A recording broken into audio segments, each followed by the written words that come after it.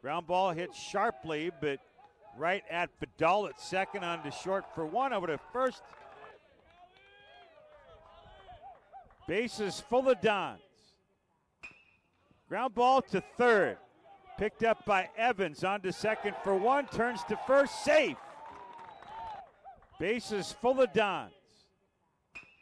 Ground ball to third. Picked up by Evans on to second for one. Turns to first. Safe.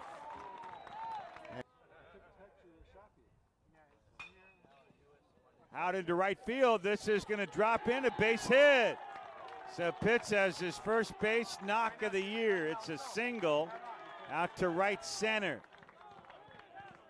3 1 pitch. Ball four. An RBI for Pelletier. Long pause by McKinney. Line drive right center, base hit. In to score is Pitts. Right behind Pelletier. So now Soberon spotted with a 7 0 lead.